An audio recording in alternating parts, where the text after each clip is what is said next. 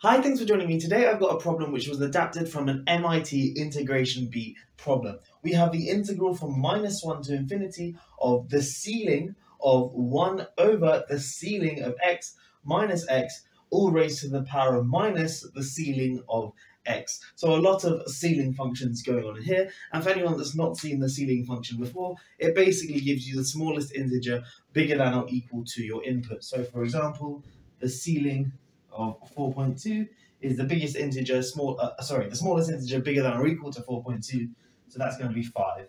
And the ceiling of pi is going to be 4. So you're basically rounding up to the next integer. And just for completeness sake, the ceiling of an integer is just going to be that integer. Anyway, if you want to have a go at evaluating this problem, pause the video now and give it a go for yourself. And I'm going to jump straight into a solution.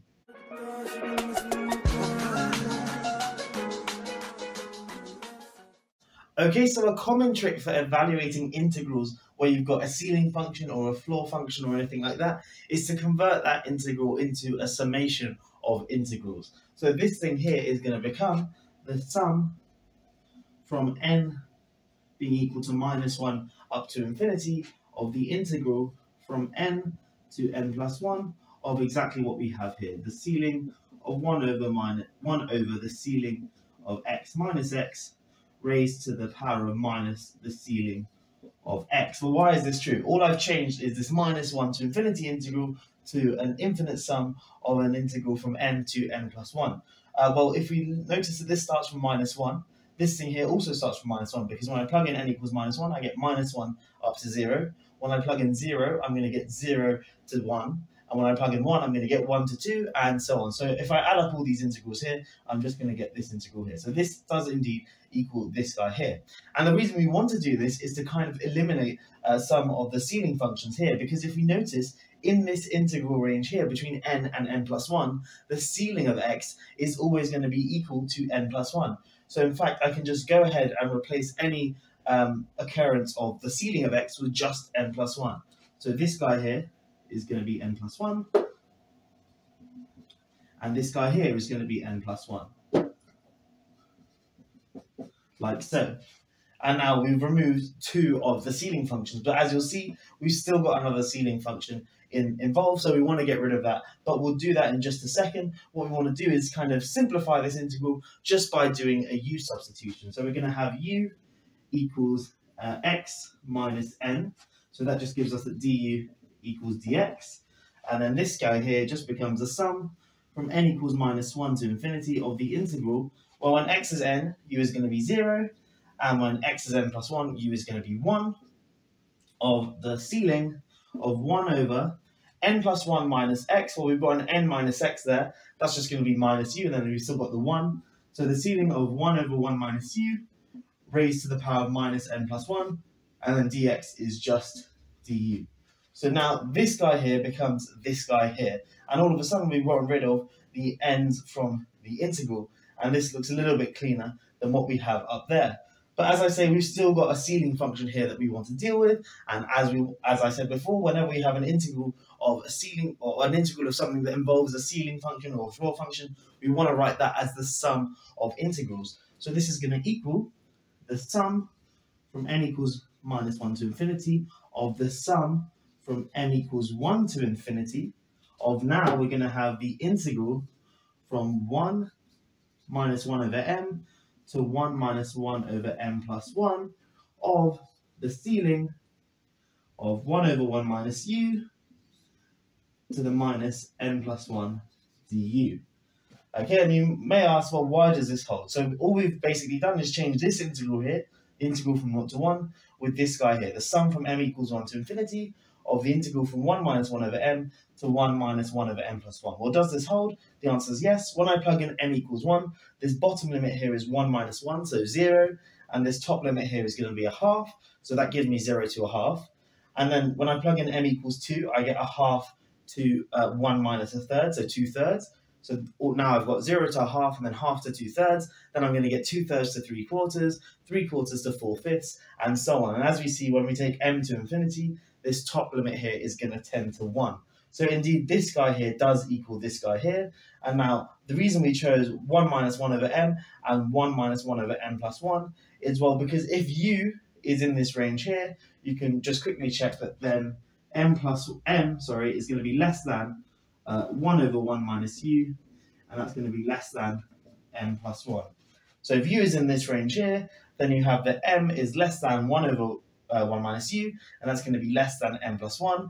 And why is that important? Well, it's going to let us get rid of this ceiling function here, because this ceiling function here, the input is 1 over 1 minus u, and we know it's between m and m plus 1, so that means the ceiling of it is just going to be m plus 1. So I can get rid of this and replace it with m plus 1, and that's still raised to the minus n plus 1. And now what we have is an integral of which involves m and n, but notice it doesn't contain u. So the next step is just to evaluate this integral, which is straightforward. It's going to be this guy here multiplied by the length of this interval. But then remember, we've still got these two infinite series here to deal with. Anyway, let me clean up the whiteboard and we'll continue. Okay, so we just showed that the integral that we're interested in is equal to the double infinite sum from n equals minus 1 to infinity, uh, from m equals 1 to infinity, of the integral from 1 minus 1 over m to 1 minus 1 over m plus 1 of m plus 1 to the minus m plus 1 du. And as I said, that integral there is independent of u, so it's just equal to the infinite sum again, so n equals minus 1 to infinity, m equals 1 to infinity, of now just m plus 1 to the minus n plus 1 multiplied by the length of the interval, which is that guy minus that guy, so that's just 1 over m minus 1 over m plus 1, like so. And this is quite nice, we can just simplify that, that's going to be 1 over m times m plus 1, so this is 1 over m times m plus 1, like so. And now all we have to do is evaluate this double infinite series here. The first thing I'm going to do is just swap the order of summation, which is fine because everything here is uh, positive. So if I swap this guy with this guy, I get n bigger than or equal to minus 1 and m bigger than or equal to 1 of this guy here. But then notice that this guy here is independent of n, so I can kind of bring it out of the first summation. So this is a sum from m equals 1 to infinity of 1 over m times n plus 1 multiplied by the sum from n equals minus 1 to infinity of this guy here. The sum n equals minus 1 to infinity of n plus 1 to the minus n plus 1. And now if you look at this guy here, you might realize that this thing here is nothing more than a geometric series with common ratio 1 over m plus 1.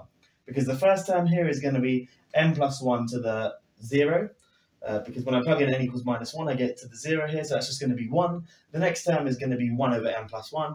The next term is going to be 1 over n plus 1 squared, and so on off to infinity. So this thing here has a very nice formula. It's just the a over 1 minus r, and the first term here is just 1, and the common ratio is 1 over n plus 1. So this thing here is equal to 1 over 1 minus 1 over n plus 1, like so.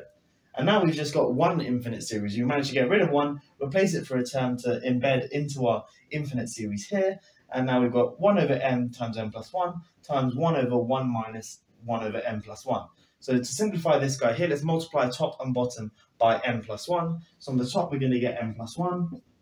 And on the bottom, we're going to get n plus 1 minus 1, which of course is just m. So now we've got the sum from m equals 1 to infinity of 1 over m times m plus 1 times m plus 1 over m. Of course, this m plus 1 and this m plus 1 cancel, and we can bring these two guys together to get that this is just the sum from m equals 1 to infinity of 1 over m squared.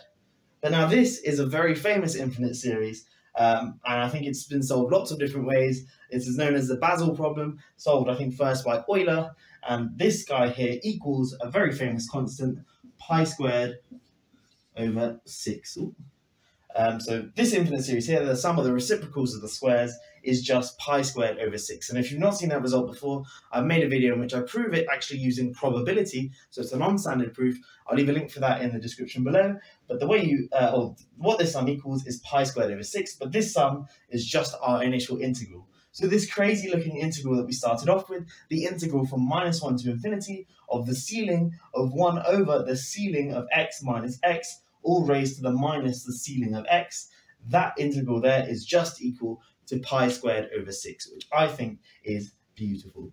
Uh, that solves this problem. I hope you have enjoyed it. Enjoyed it. Sorry. The main trick we used was when we have an integral involving a ceiling function. Uh, all you, the, the best thing to do is just to write it as the sum of integrals. So we have this kind of scary looking thing here because you can't really use um, you know integration by parts or anything because this doesn't is not really differentiable. Um, so you have to use some other techniques, and that's where you use infinite sums to split it into things that you can actually digest and evaluate. Anyway, I hope you have enjoyed this video. Thank you for watching. Um, yeah, I'll catch you in the next one. Have a great day.